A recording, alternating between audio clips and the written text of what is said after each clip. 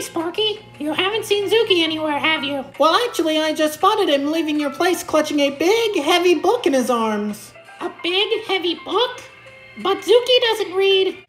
Oh, goodness, no! They're just pictures of cakes, Zookie! You can't eat